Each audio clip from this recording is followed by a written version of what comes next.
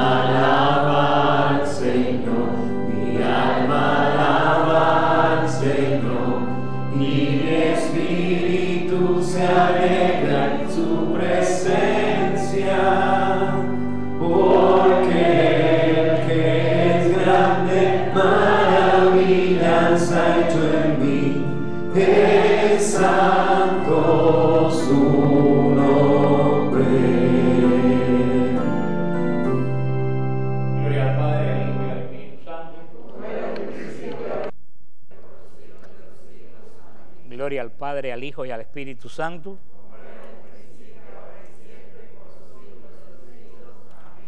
Gloria al Padre, al Hijo y al Espíritu Santo.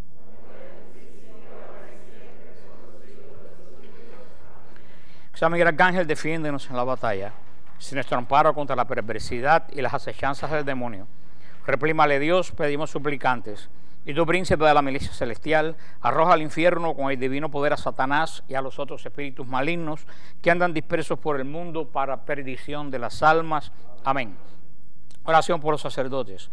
Señor Jesús, Pastor Supremo del rebaño, te rogamos que por el inmenso amor y misericordia de tu sagrado corazón, atiendas todas las necesidades de tus sacerdotes. Te pedimos que retomes en tu corazón todos aquellos sacerdotes que se han alejado de tu camino que enciendas de nuevo el deseo de santidad en los corazones de aquellos sacerdotes que han caído en la tibieza y que continúes otorgando a tus sacerdotes ferviente el deseo de una mayor santidad. Unido a tu corazón y al corazón de María, te pedimos que envíes esta petición a tu Padre Celestial en la unidad del Espíritu Santo. Amén. Por las intenciones del Santo Padre, por las intenciones del Papa Emérito Benedicto y del Señor Arzobispo de Miami. Padre nuestro que estás en el cielo, santificado sea tu nombre, venga a nosotros tu reino, hágase tu voluntad en la tierra como en el cielo.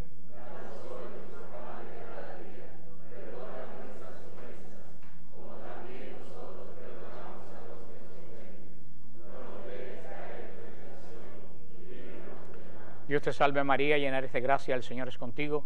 Bendita eres entre todas las mujeres y bendito es el fruto de tu vientre Jesús.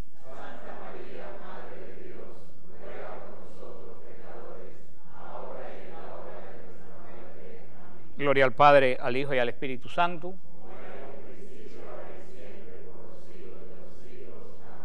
En el nombre de Jesús, en el nombre que está sobre todo nombre, en el poder de su cruz, de sus llagas y de su sangre, atamos y rechazamos que estamos fuera de nosotros, de nuestro entorno, todo espíritu que nos sirva al Dios vivo. Atamos las tinieblas en el nombre de Jesús, donde debe esperar el día del juicio. Nosotros los hijos de Dios nos cubrimos con la sangre del Cordero en el nombre del Padre, del Hijo y del Espíritu Santo. Amén.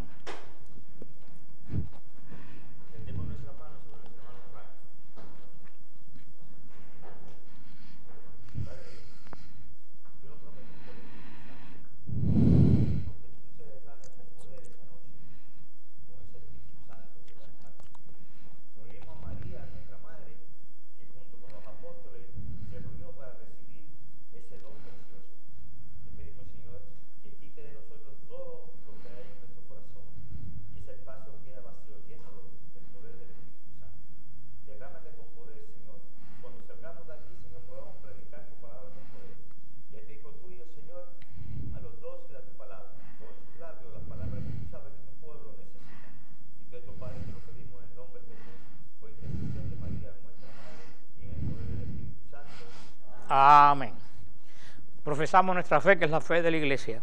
¿Creen en Dios Padre Todopoderoso, Creador del cielo y de la tierra? ¿Creen en Jesús, Hijo único de Dios, nacido de María la Virgen, muerto por nuestros pecados, resucitado entre los muertos, llevado a los cielos, de donde verá con gloria a buscar vivos y muertos? Creen en el Espíritu Santo, Señor y santificador de la Iglesia, en la Iglesia que es una, santa, católica y apostólica, en un solo bautismo para el perdón de los pecados, en la resurrección de la carne y en la vida del mundo futuro. Profesamos nuestra fe.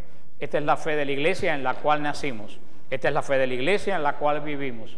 Esta es la fe de la Iglesia en la cual queremos morir. Amén. Nos sentamos. Nos damos la paz. No se preocupen, ustedes saben el orden ya, así que lo hacen, aunque yo no lo diga.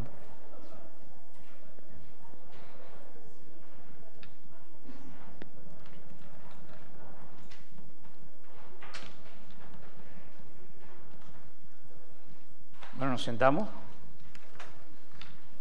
La iglesia celebra, celebra una fiesta de, un gran santo de la iglesia totalmente desconocido de la, de la, antigüedad, de la primera iglesia, San Pacomio Abad. San Pacomio educó a sus monjes a la vida común, constituyendo poco lejos de la ribera del Nilo la primera coinonía, una comunidad cristiana a imitación de la fundada por los apóstoles en Jerusalén, basada en la comunión, en la oración, en el trabajo y en el alimento y concretada en el servicio recíproco. El documento fundamental que regulaba esta vida era la Sagrada Escritura, que el monje aprendía de memoria y recitaba en voz baja durante el tiempo de trabajo manual. Esta era también la forma principal de oración, un contacto con Dios mediante el sacramento y la palabra. San Pacomio nació en el Alto Egipcio, Egipto en el año 287, de padres paganos, enrolado la fuerza en el ejército imperial a la edad de 20 años, acabó en prisión en Tebas con todos los reclutas. Protegido por la oscuridad, por la noche los cristianos les llevaban un poco de alimento. El gesto de estos desconocidos conmovió a Pacomio, quien preguntó quién los incitaba a traerle comida. El Dios de los cielos fue la respuesta de los cristianos. Aquella noche Pacomio rezó al Dios de los cristianos que lo liberara de las cadenas, prometiéndole a cambio de dedicar su propia vida a su servicio. Tan pronto recobró su libertad, cumplió el voto, uniéndose a una comunidad cristiana de una aldea del sur, la actual Kars Shadat, en donde estuvo la instrucción necesaria para recibir el bautismo. Por algún tiempo llevó una vida de asceta, entregándose al servicio de la gente del lugar. Después se puso por siete años bajo la guía de un monje anciano, Palamone. Durante un paréntesis de soledad en el desierto, una voz misteriosa lo invitó a establecer su residencia en aquel lugar, al cual después habrían llegado numerosos discípulos. A la muerte de Pacomio, los monasterios masculinos eran nueve más uno femenino. Del santo se desconoce el lugar de la sepultura, pues en su lecho de muerte dijo al discípulo Teodoro que escondieran sus restos para evitar que sobre su tumba edificaran a una iglesia a imitación de los martirium o capillas construidas en la tumba de los mártires. Entonces, un, gran santo, pueden buscar en internet los, dichos de, San Pacomio, ahí está toda la, obra, lo que se guarda de él, lo que sus monjes eh, recogieron de este gran, uno de los padres grandes del desierto del siglo III mucho antes de Constantino, así que es un gran, gran santo que casi nadie lo conoce. Le damos la bienvenida a todos ustedes, le damos la bienvenida a los hermanos que se conectan con nosotros en este momento por el internet y a los que durante la semana van a estar viendo las clases. Le damos también la bienvenida a Laurita y a, y a Javier, que yo pensé que se han vuelto mormones, pero no, ya están por acá de vuelta. Hace mucho tiempo que no sabía de, ellos. Lo traje con la mente porque estaba pensando en ustedes ayer. Bueno, comenzamos el segundo libro de de Reyes en el nombre del Padre, del Hijo y del Espíritu Santo. Amén. Segunda de, de Reyes capítulo 5. Espíritu Santo ilumina nuestro entendimiento para que al leer o estudiar la Sagrada Escritura sintamos la presencia de Dios Padre que se manifiesta a través de tu palabra. Abre nuestro corazón para darnos cuenta del querer de Dios y la manera de hacerlo realidad en nuestras acciones de cada día. Intrúyenos en tus sendas para que teniendo en cuenta tu palabra seamos signos de tu presencia en el mundo. Amén. Estamos, la semana pasada estuvimos hablando ampliamente de quién? ¿Eh? De Naamán, pero terminamos hablar de Naamán la semana pasada y nos, nos nos centramos en un personaje, en un personaje que dijimos que tiene un nombre conflictivo. Algunos dicen Yeasí, otros Geasí, otros dicen Yesí. Así que hay varias eh, interpretaciones, así que nos quedamos con Yesí. Estamos hablando de Yasí. Yasí que es la antítesis de quién? ¿De quién es la antítesis? De Eliseo. Y así es la antítesis de Eliseo. Todo lo que no es Eliseo, en bien, lo fue así en mal. Recuérdense, la semana pasada hablamos ampliamente, esta semana vamos a terminar de hablar de Gehazi, porque la semana pasada vimos todo lo mal que hizo este hombre. ¿Se recuerdan? Este señor era discípulo de Eliseo, era el que transmitía. Acuérdense que Gehazi era a Eliseo lo que Eliseo fue a Elías. ¿No? Eliseo era el muchacho de Elías, el que lo ayudaba, el que lo llevaba, el que lo seguía, el que escribía. así era el muchacho de Eliseo, el que hacía todas las, cosas, el ayudante del profeta. Sin embargo, vemos qué gran diferencia entre Eliseo con Elías y así con Eliseo. E, Eliseo asimiló lo de Elías. así no asimiló absolutamente nada, nada. Y terminó Vimos la semana pasada todos los errores que cometió cuando le pidió dinero a, a Naamán en nombre de Elías, en nombre de Eliseo. Y vimos cómo terminó la cosa, que Eliseo dijo que así como él cogió el dinero de Naamán, la lepra de Naamán también él la iba a, a coger. y dijo que esa lepra no solo era para Yeasí, era para quién también, para toda su descendencia. Luego entonces debe haber descendencia de Yeasí hoy en día, hoy en día ¿no? Tiene que haber, ahora vamos a ver quién es la descendencia, con eso terminamos Yeasí, vamos a ver quién es la, la, descendencia de, de. En Segunda de Reyes 5.27, recuerden, la leímos la semana pasada, dice, por tanto, la lepra de Naamán se te pegará a ti y a tu descendencia para siempre. Y salió delante del leproso blanco como la nieve.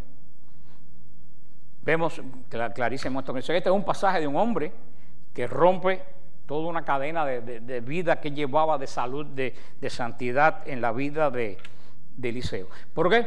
El Yeasí fue el primero que quebró la cadena del discipulado. Es muy importante el discipulado. ¿Qué cosa es el discipulado? Las personas que se sienten, sientan a escuchar un, maestro. El maestro enseña, el discípulo ¿qué es lo que hace? escucha y no solo escucha, ¿qué más? Aprende. Con lo cual, Señor, yo estoy muy mal. Pero bueno, yo tengo esperanza, yo tengo esperanza que el Espíritu Santo ahora en Pentecostés todos los conocimientos lo, lo ajunte de nuevo en su cabecita. Ese es el discipulado, porque el discipulado no solo es lo que yo le enseño a ustedes, el discipulado debe ser que ahora ustedes van a enseñarle a otra gente lo que yo les enseñé a, a ustedes. Eso es lo que es el discipulado que se va transmitiendo. Y hoy en día el discipulado es todavía mucho más fácil, porque hoy en día para ser un discipulado no hay que tener un grupo. Hoy en lo que, para tener un discipulado lo único que hay que hacer es tener Facebook. Con un Facebook, así como la gente usa Facebook para lo malo, tú puedes usar el Facebook para ser un discipulado. Y como discipulado en Facebook, todo lo que tú aprendes, escríbelo y, y transmítelo. Ustedes creen que no, pero a alguien le va a llegar. Y eso es lo que Señor, lo que ha habido en la iglesia desde el siglo I, ¿qué cosa ha sido? Discipulado. Los apóstoles enseñaron a sus seguidores que se convirtieron en qué cosa?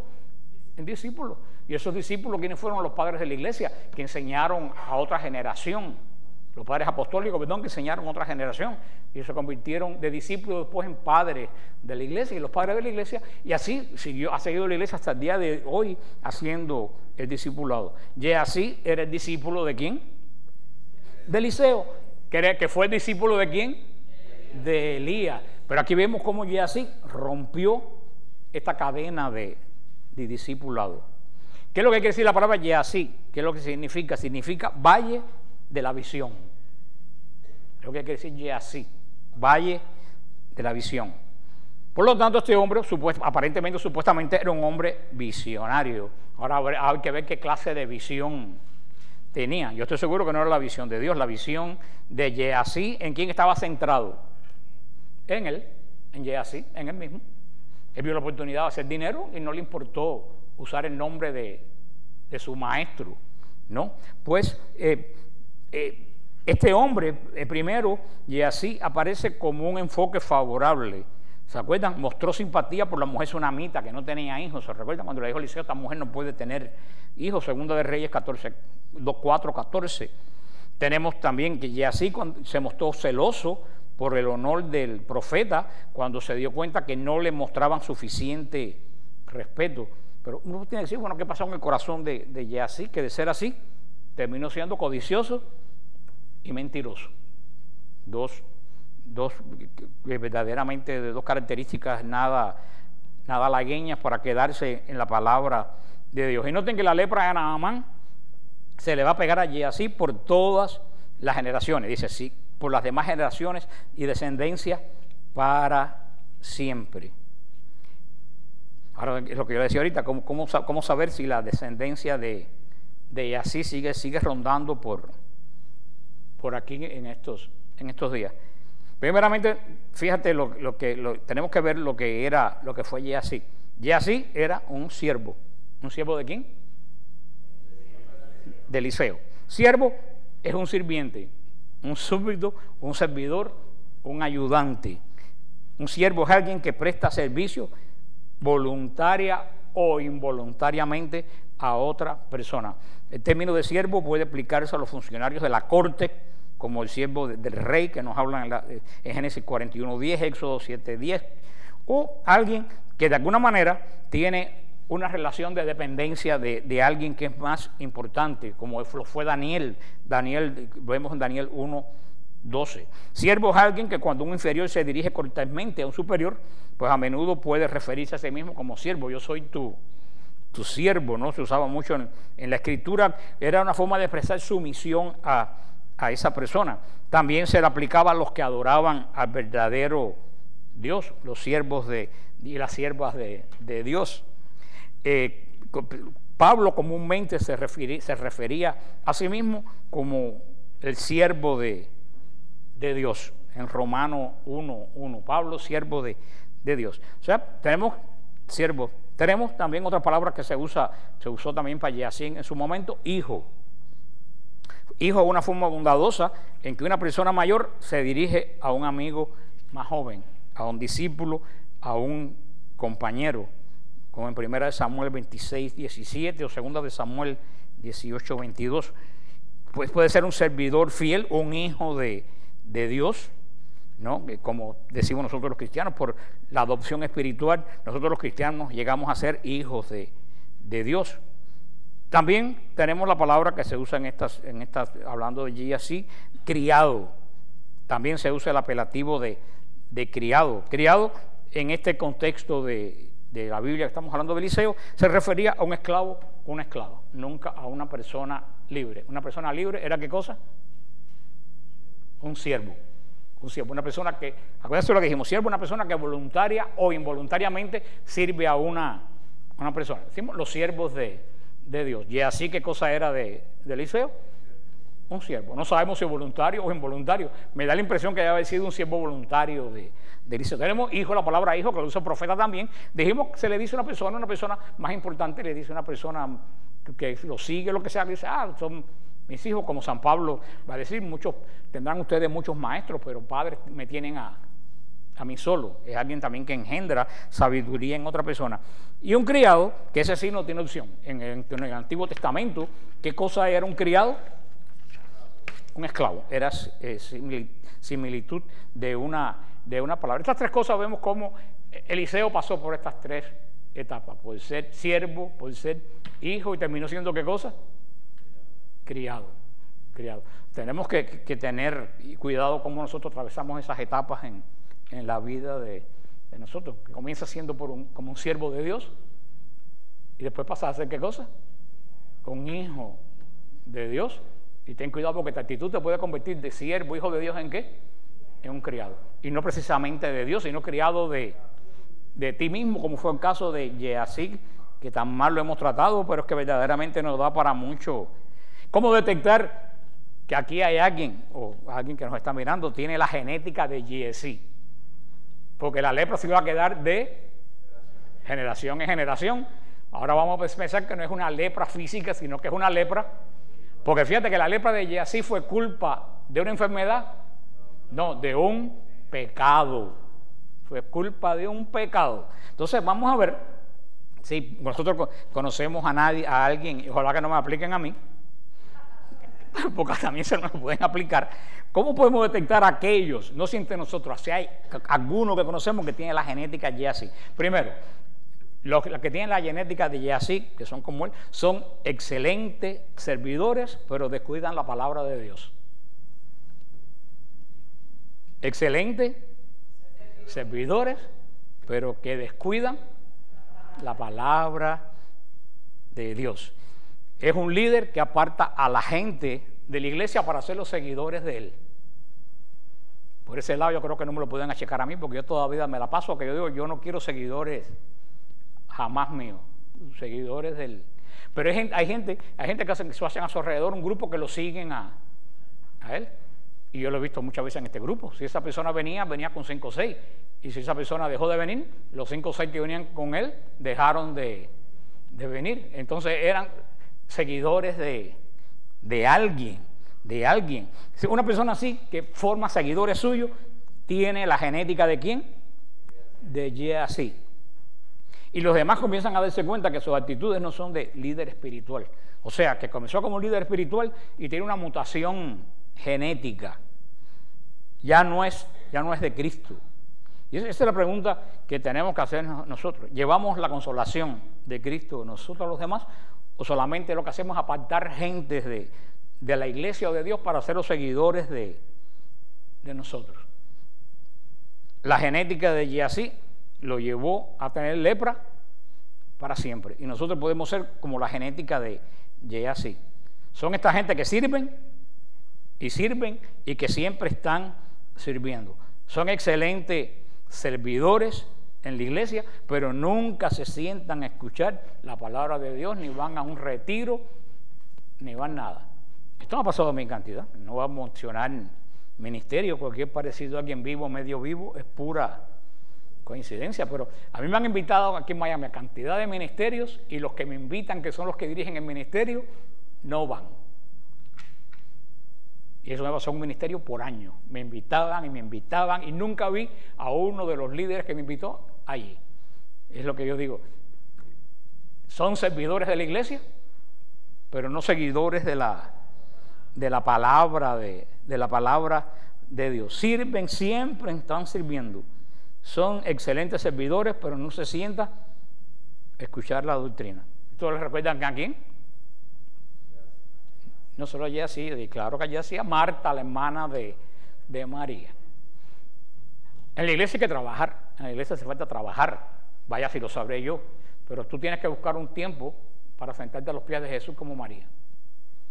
Si no, te va a pasar lo que, lo que pasa ahora. Esta gente que siempre está sirviendo y no se sientan a escuchar la palabra, terminan quebrando la doctrina, que, terminan quebrando la misma palabra de, de Dios. ¿Por qué? Porque no la escuchan y no la, no la siguen, no tienen, no tienen una vida de, oración. Y el que no se llena, no puede dar. Entonces esta gente que tiene la lepra de así, cuando van a dar, ¿qué es lo que dan? Lepra, pues dan frutos de desintegración, como la lepra. Apartan la gente del grupo, se apartan a la gente de una comunidad, apartan a la gente de esa, de esa iglesia, dan frutos de, de división, de división, dan frutos de ustedes van donde voy yo. O sea, tenemos que, tenemos que tener, y esa es la pregunta no solo para nosotros, la gente que, está viendo por tanta gente que me escriben con tantos problemas hoy, en día, que, mi, mi, mail ha terminado como un buzón de crítica y de queja. Y esa es la pregunta que un líder de la iglesia tiene que preguntarse. ¿Uno hace que la gente se acerque a Dios o tú apartas a la gente de Dios? Y eso no es solo un líder, yo creo que cada uno de nosotros así tengamos cuatro viejas que nos siguen en Facebook, tenemos que, preguntarnos. Nosotros hacemos que la gente se acerque a Dios o lo apartamos de... Si tú apartas a la gente de Dios, tú, tienes la lepra de, de así. O sea, primero, ¿cuáles son? Son excelentes servidores, pero descuidan la palabra. Segundo, quieren protagonismo. ¿Se acuerdan en Segunda de Reyes 4:31? Entonces él se levantó y la siguió. Y así había ido delante de ellos. Y ella ha puesto el báculo sobre el rostro del niño. ¿Se recuerdan? Y así fue cuando el niño estaba muerto. Y puso el báculo, fue delante del profeta y puso el báculo en el rostro del niño. Y, cuando encontró Eliseo, le dijo, el niño no despierta. O sea, ¿qué daño podemos causar cuando solo somos y queremos ofrecer o ejercer la función de, del dueño? ¿Qué es lo que hizo así así quiso llegar primero que Eliseo, ¿para qué? Con el báculo, ¿para qué? Para hacer el, milagro él. Porque pensaba que el, el, poder estaba en el, en el báculo. Por eso se fue adelante y vio que no pudo. Hermano, eso es, eso es terrible. Y así también aquí rompió la cadena del discipulado. Se adelanta, corre, no espera. Él quería el protagonismo para, para él. Ni siquiera espera a Oliseo. Se le olvida que eres un criado. Los que tienen la genética y así quieren el protagonismo en todos los lugares. Siempre corren adelante para que todo el mundo lo vea. Siempre cuando ven retiro están en las primeras sillas que están arriba en el escenario son la gente que siempre hay que, hay que ver, tienen que ser vistos, tienen que, ser vistos. hermano. Mira lo que hizo Eliseo. Le dijo al niño, levántate en el nombre de Dios. Fíjate que así va con un evangelio prestado. así no tenía la unción. ¿Quién tenía la unción? Eh, Eliseo. Más bien, más bien resumiendo, porque si no nos íbamos, a tomar más tiempo con así que con Eliseo, las características de los que tienen la genética así. Quieren ser protagonistas. Andan con unción prestada no tienen experiencia personal de Dios. Son criados, servidores únicamente, no les gusta recibir la palabra. Tienen un evangelio prestado y apartan a la gente de su líder natural. Y lo más, y lo más terrible de todo, venden el don y cobran por los milagros.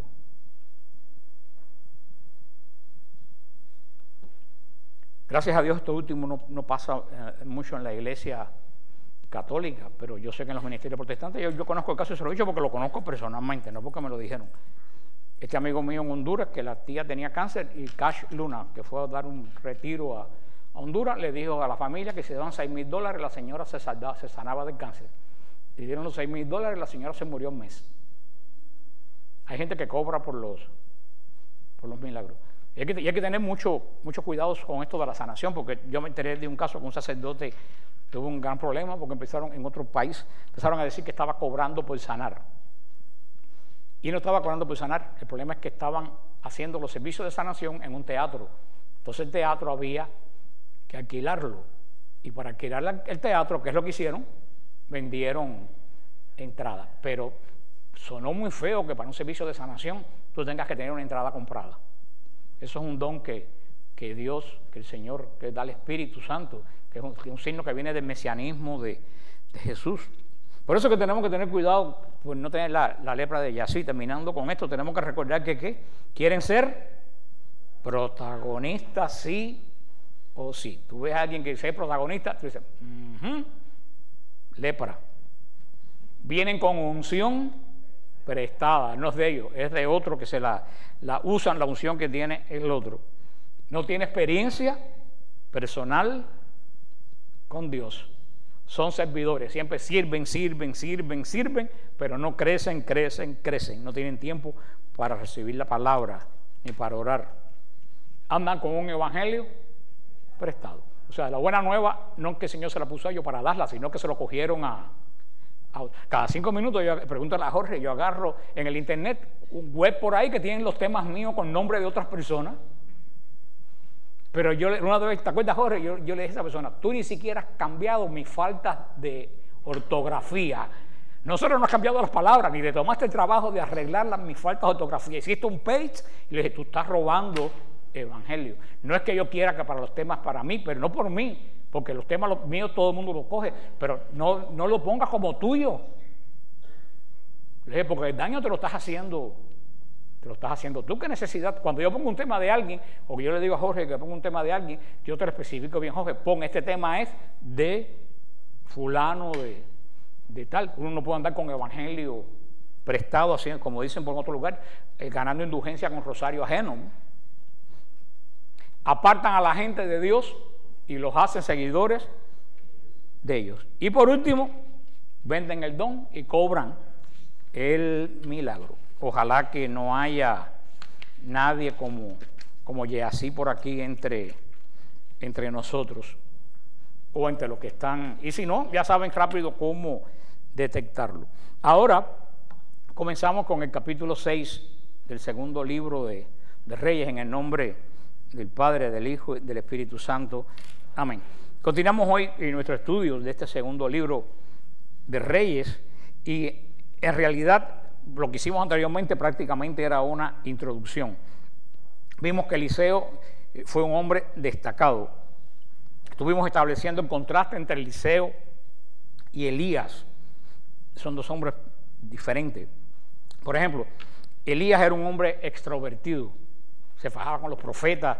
Eliseo era un hombre introvertido. Eliseo no quería hablar con la gente. ¿Se acuerdan que mandó a hablar con la viuda? Él no le gustaba mucho, no quiso hablar con Naamán. ¿Se recuerdan? Eliseo era introvertido.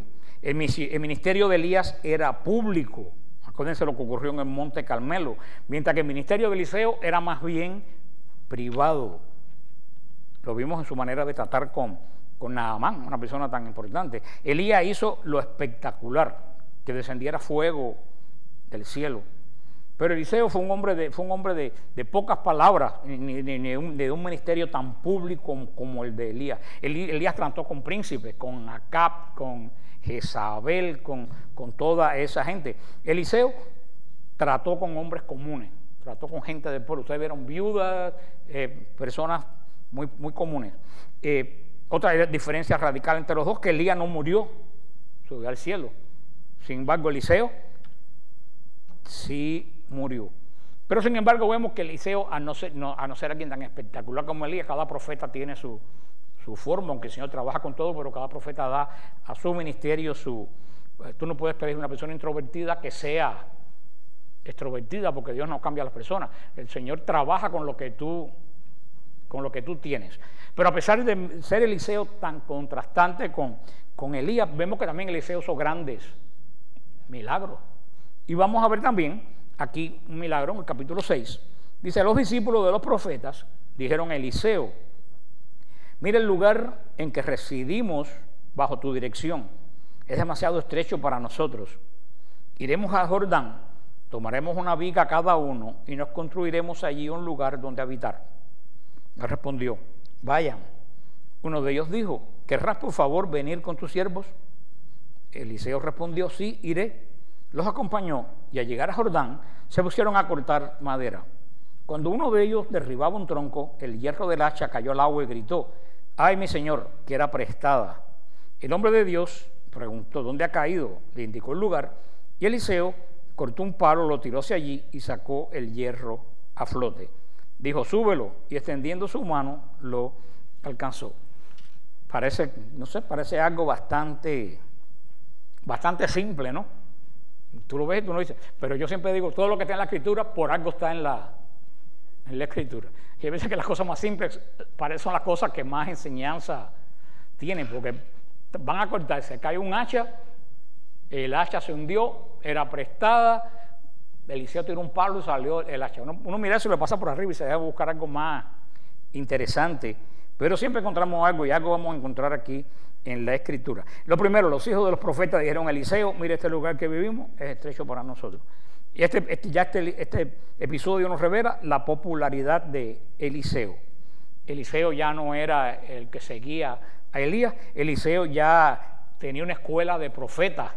Acuérdense que en estos días en Israel había muchas escuelas de, profetas. Eliseo tenía una escuela de, de profetas. En esa época, igual que como leímos en San Pacomio, siempre ha sucedido exactamente igual. Todas las personas que se retiran buscando soledad, la gente le cae Mira, sería una buena idea que yo me fuera por un lugar solitario, a ver si la gente, si la gente va, lo voy a, considerar, a ver si la gente viene. Porque a lo mejor si digo, quiero tranquilidad y me quiero retirar, entonces todo el mundo en Miami me cae atrás. Eso no solo de ahora, eso viene desde la época de, Eliseo. Ahora, crecían los seguidores de, Eliseo y necesitaban un lugar más, más amplio. y, esto sin duda definitivamente se debió que ya Eliseo era una persona conocida, por eso es que, es que crecieron. entonces, ¿qué fue lo que, lo que hicieron? Bueno, dijeron, vamos al, ahora a Jordán, tomemos cada uno una viga y hagamos ahí un lugar para habitar. en contraste con la situación actual, los estudiantes de aquel tiempo son los que, con los que construyen su, su escuela. Hoy en día son los maestros los que tienen que construirla. Si no tiene un ministerio, no tiene que salir a buscar el local, porque ninguno de la gente que viene al ministerio se preocupa de buscar el, algunas con algunas excepciones, porque me están mirando alguna gente con mala, con mala cara. Pero fíjate, que todos se preocuparon porque el lugar les quedaba estrecho. Gracias a Dios aquí no estamos estrechos todavía. Y él fue, esto vemos un buen toque personal de, de Eliseo. Este, este detalle nos da una idea sobre el carácter de, de Eliseo. Nos revela lo popular que era Eliseo entre los, entre los alumnos. Usualmente los alumnos no quieren la compañía de los maestros con ellos. ¿Eso no es? Usualmente los, alumnos lo que quieren es estar solo, hacer sus cosas. Ellos querían que el jefe de ellos fuera con, con ellos, deseaban su, su compañía. Vemos que hay una, una relación buena. Eliseo era una persona que, a pesar que era una persona introvertida, se sabía relacionar con, con sus profetas. Dice, se fue con ellos cuando llegaron a Jordán, cortaron la manera. Vemos este pequeño accidente que en otro momento había, hubiera sido calificado como un accidente tribal, trivial. Vimos que, ¿qué pasó? Se cayó al agua el, el hacha. Este incidente, este incidente es interesante, revela que esta cosa tan insignificante, se cayó un hacha al agua. Esta cosa podemos sacar que nos revela que Dios tiene interés aún en los pequeños eventos de nuestra vida. Puede haber algo más, menos importante que se caiga un hacha en un canal. Sin embargo, ¿dónde está?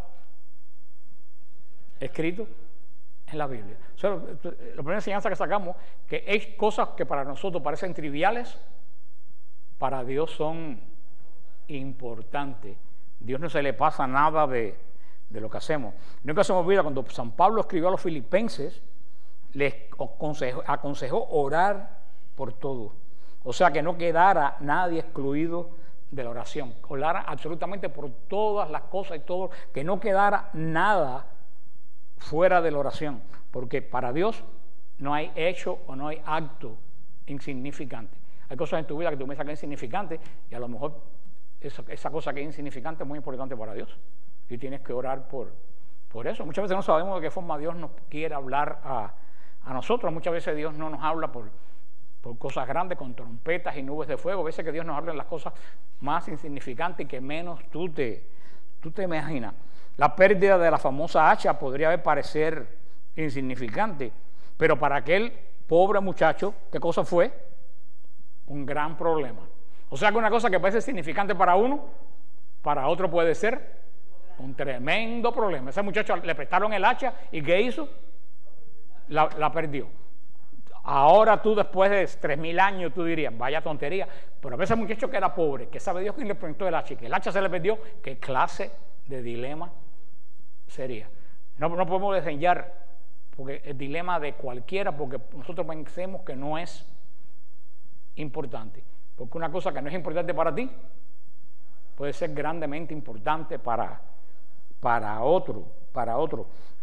Y en los tiempos de liceo un hacha era muy importante, porque había escasez de cualquier herramienta de, de hierro. Que en esa época no se conocía hierro ni las aleaciones como la conocemos hoy. O sea que tener un hacha era como tener hoy, qué sé yo, un taller de grandísimo. O sea que de los tiempos de Saúl y Jonatán se nos cuenta en el primer libro de, de, Samuel, capítulo 13, dice, y así aconteció que en el día de la batalla ninguno de los del pueblo que estaba con Saúl y Jonatán tenían en sus manos una espada o una lanza, excepto Saúl y Jonatán. Mira tú qué importante, qué, poco eran, qué, poco usual eran las cosas de hierro, las cosas de, metal.